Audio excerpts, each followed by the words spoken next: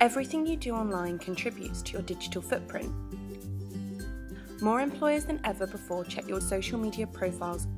Additionally, many people make purchasing decisions based on online reviews, so for anyone aspiring to become self employed, reputation is everything.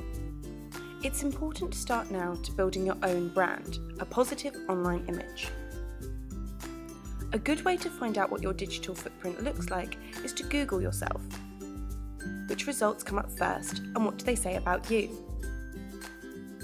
By maintaining an active profile on professional sites such as LinkedIn and on industry specific sites, you will help to ensure that the results that get top ranking are positive ones.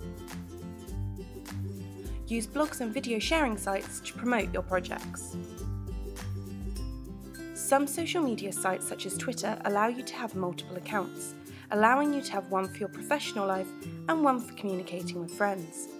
This is a good idea if you don't want to bore potential industry contacts with details of your personal life. Check the privacy settings on each of the social media sites you use and check back on these regularly, as sometimes they will revert to the default following updates on your smartphone or tablet. Even on a personal account, keep private information private.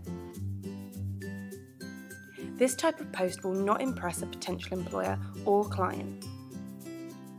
Remember that nothing is ever truly deleted from the internet, so if you are not happy for it to be out there, don't post it. Your digital footprint says a lot about you.